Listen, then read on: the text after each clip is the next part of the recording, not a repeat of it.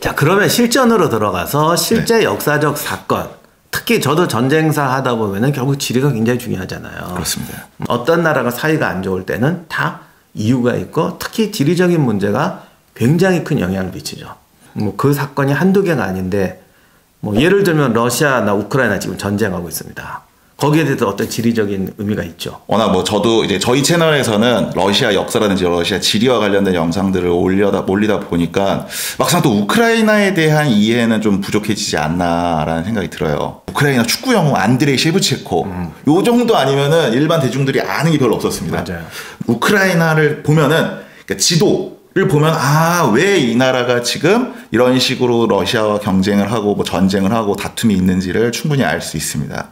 그 부분에 대해서 좀더 자세하게 한번 이야기를 한번 해볼까요? 지금부터 이제 드리고 싶은 말씀이 안에서 우크라이나 지도를 봤을 때는 과연 우크라이나 역사랑 어떤 관련이 있는지 그리고 우크라이나를 밖에서 지정학적 위치에서 봤을 때는 우크라이나 역사가 어떤 관련이 있는지 이렇게 두 가지로 크게 구분을 할 겁니다. 박사님은 우크라이나 위도 있지 않습니까? 위도가 어느 정도인지 아세요? 폴란드 미치니까 거의 40도 정도 되지 않나? 38도에서 40도. 어, 정- 거의, 거의 정확합니다. 네, 그때 저도, 저도 옛날에 많이 당했어요. 맞습니다.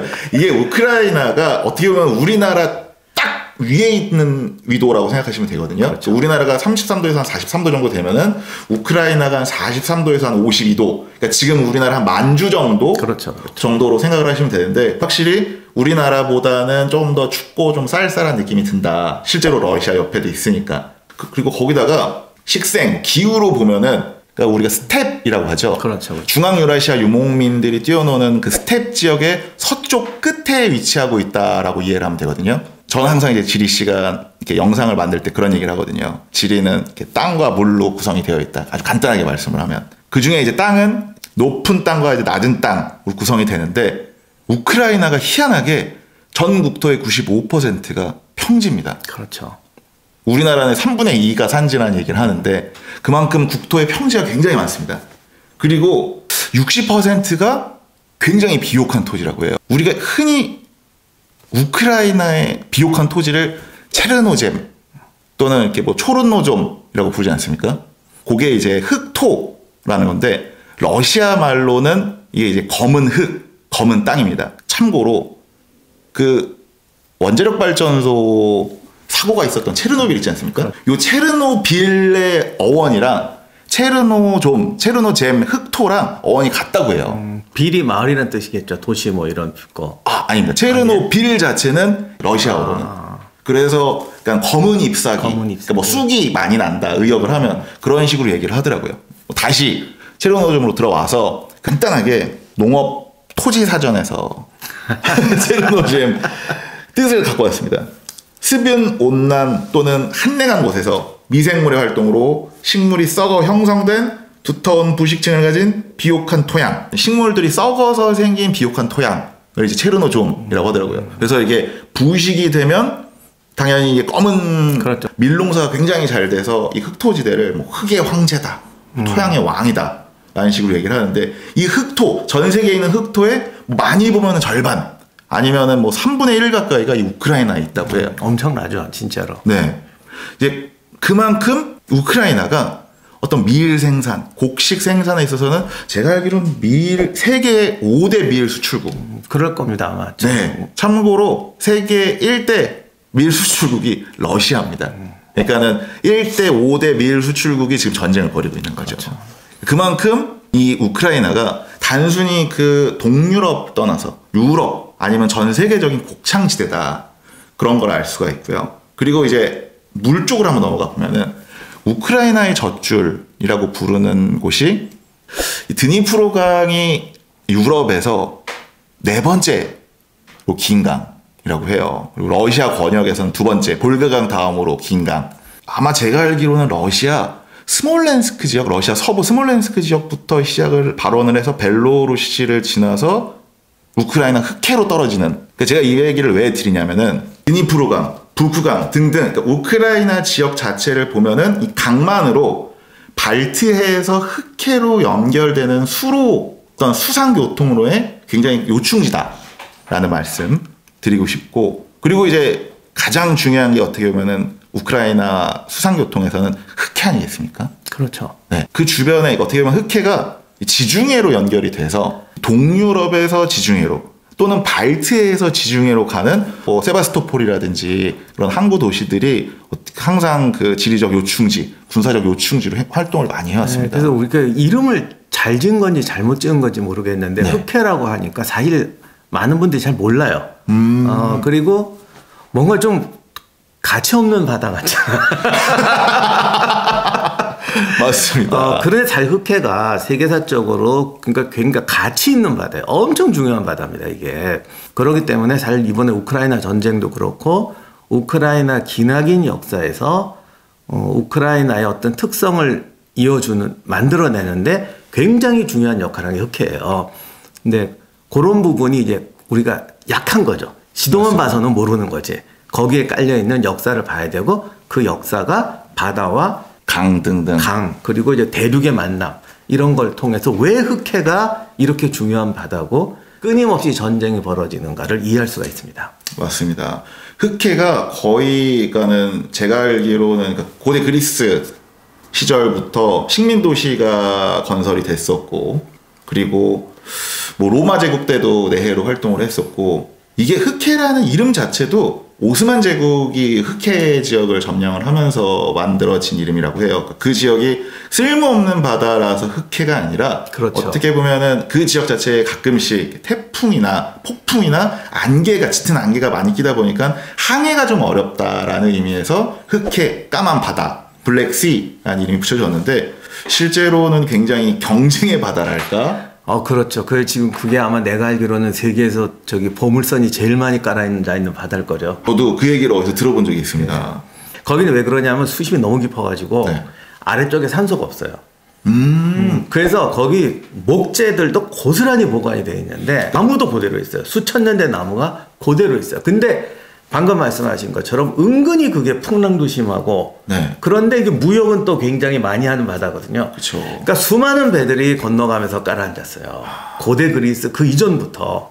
그래서 만약에 그걸 건지면 쉽게 말하면 그리스의 무역선이 그냥 올라오는데 지금은 그 안에 들어있는 보물도 보물이지만 배 이런 게 통으로 올라온다는 게 그럼 이제 우크라이나 이 지리가 지도랑 어떤 그러니까 역사와 어떻게 관련이 있는지 한번 간단하게 얘기를 하자면 지금은 이제 우크라이나의 수도 이 키이우의 유래가 우리로 치면 뭐 백제의 비류와 온조처럼 네 명의 남매가 있었다고 해요. 그 남매 중에 첫째 맏이의 이름이 키이였대요.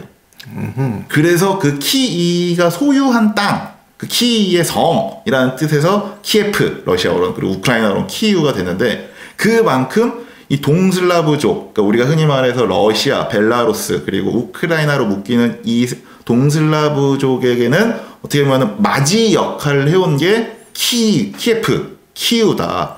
그렇게 제가 말씀을 드리고 싶거든요. 아 저도 그 얘기는 처음 들었어요. 그 뭐 다시 뭐 키예프 얘기를 잠깐 하자면 키예프 자체가 한 9세기 무렵에는 키예프 공국 대공국이 세워지면서 그래서 지금까지도 이 키예프 뭐 키이우 공국을 가지고 라는 역사 논란이 있다고 하더라고요. 그만큼 어떻게 보면 우크라이나 지역 자체가 루시인들이라고 하죠. 루스인들, 루스인들에게는 어떻게 보면 고향과 같은 곳이 이 우크라이나 지역이다. 고저는 안에서 보는 우크라이나 역사는 그 정도로 한번 보도록 하겠습니다.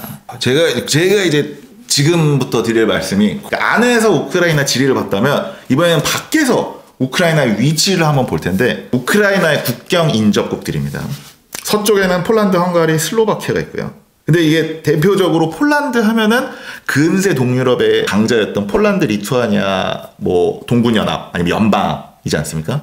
헝가리 같은 경우도 근세 시대에 뭐 헝가리 왕국이라든지 오스트리아 헝가리 제국이 있었던 곳이 서쪽에 항상 우크라이나에 있었고요. 그렇죠. 특히 이게 기병들이 세가지고 그렇죠. 많이 털고 다녔죠. 윙드 흡사라든지 등등. 그리고 북쪽에는 뭐 누구나 다 아시는 것처럼 러시아가 있습니다. 모스크바 대무궁 때도 강국이었지만 포트르 대제 이후 전 유럽의 강자로 이제 떠오른 나라가 항상 이 북쪽에 위치를 했고 그리고 흑해를 사이에 두고 있는 나라들이 우크라이나의 각지에 있다는 거.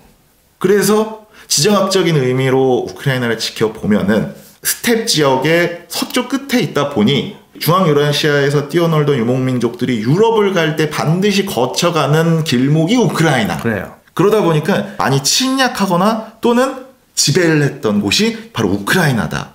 그렇게 말씀 좀 드리고 싶습니다. 음, 그래서 이분들이 뭔가 자기 나라를 만들어서 우리도 우리 것을 가지고 행복하게 살고 싶다라는 강렬한 의식이 굉장히 강한 거예요. 그러니까 우리가 지리와 역사를 같이 봐야 된다는 게 우린 너무 쉽게 생각하거든. 수천 년 동안 저 나라 밑에 있었으니까 뭐 그냥 받아들고 그렇죠. 살겠지라고 생각하기 쉬운데 사람은 환경에 따라서 그렇게 살았기 때문에 아무 생각 없이 나는 이 나라 사람이라고 동화되는 나라가 있고 그렇죠. 그렇게 살았기 때문에 오히려 더더욱이 우리는 언제고 독립해야겠다 이런 생각을 하는 나라가 있는데 이게 사실 지리하고 굉장히 밀접한 영향이 있죠. 심한 사람들은 그렇게 하죠. 니네들이 언제부터 러시아랑 다른 나라인데 맞습니다.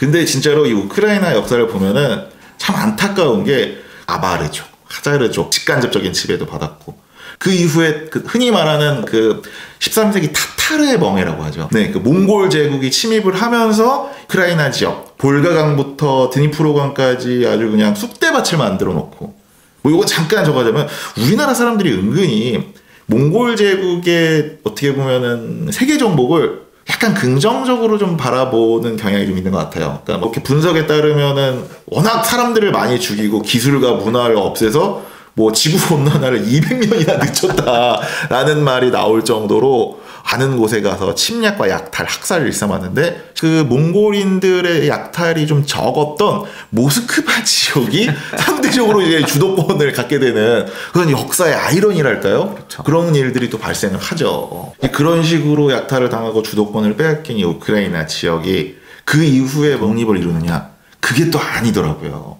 이렇게 보면은 그 이후에 뭐 갈리치아, 뭐 보리니아 공국이라든지 루테니아 왕국 등등 뭐 작은 나라들이 서쪽 서부 지방에서 뭐 명멸하긴 하는데 항상 이렇게 외세의 간섭을 많이 받거나 이렇게 짧게 가는데 그 이후에 꾸준하게 뭐 리투아니아 대공국이라든지 특히 이제 폴란드 왕국의 지배를 많이 받게 되면서 되게 뭐 약탈과 침략을 많이 받습니다.